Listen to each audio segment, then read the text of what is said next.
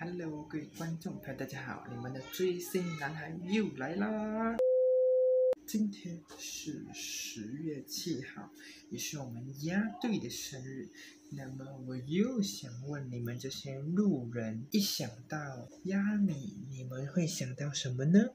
是火箭少女的队长，还是咪咪演的，还是被老板 PUA 的？今天我就来带你们这些路人认识一下亚米吧。亚米郭颖是一九九一年十月七日出生于。广东清远的一名小女孩，她本来也是像大部分人一样读大学、做工、结婚、生孩子，但是她读完大学后却没有照正常人的逻辑，而是去当了舞蹈老师，教别人跳舞，还帮李宇春伴过舞。所以她其实是靠舞蹈进的娱乐公司，rap 是后面才学的哦。过后她又去参加了。中国有嘻哈热血街舞团，才到了我们所熟知的创造一零一。创造一零一一出场，就感觉和其他女生不太一样，有点凶，有气场，又小眼睛的，但是出舞台却燃爆全场，一公二公也是持续输出。到了二宫后，才开始慢慢的给我们带来更多不一样的压米。他开始跳宅舞。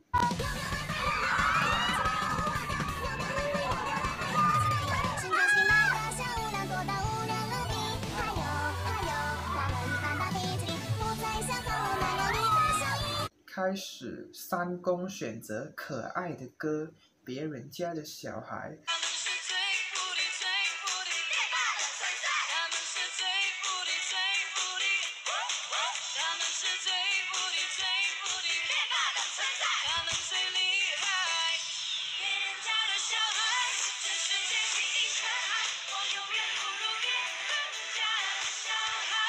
最后才在总决赛逆风的一句“看我逆风翻盘”，瞬间又回到了初舞台那个帅帅拽拽的 Yummy。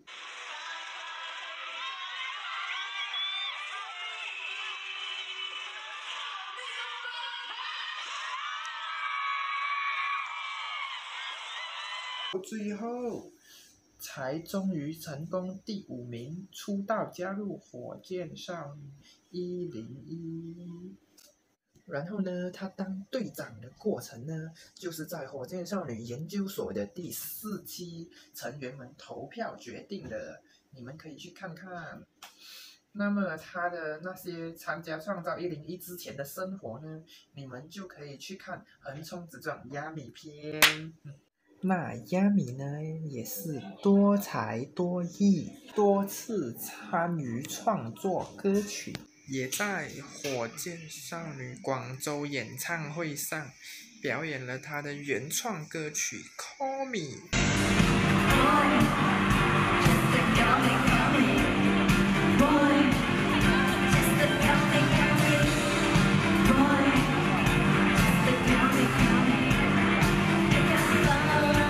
他在团期间也发了几首歌，我都很喜欢，比如说《Fly Girl》。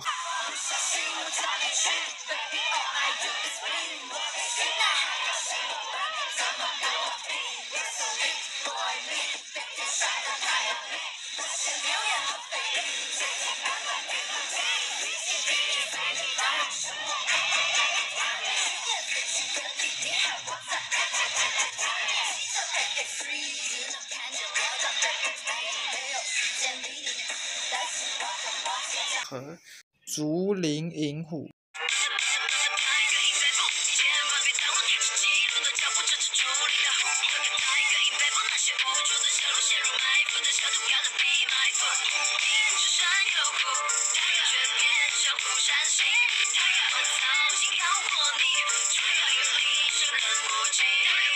那他的争议事件呢？可能就是和撒尼在沙漠吵架的事件。那这件事，他们也在大壮的傻逆篇重提了。然后解散后的争议事件，也就是那个职场 PUA 事件，也上了很多的热搜。据我所知啊，亚米老板骂他的那个录音，他好像是四月多就收到了，就是很早。但是那时呢还在团时期，他们还在拍解散团中，还在做他二十岁第二季，所以呢他才没有发出来，不影响他的心情。他到解散后的七月才发出来。那么他在炽热的我们怪美的那个 rap，应该就是用来回应他的老板的吧？虽然那时还没有那个事件，但是我们现在回看怪美的那个 rap。好像都是在说美和丑。解散后，他也是有在持续不停的出歌，但是都没有什么水花。直到最近的爆裂舞台，才让更多人又看到了这位北漂的小姑娘。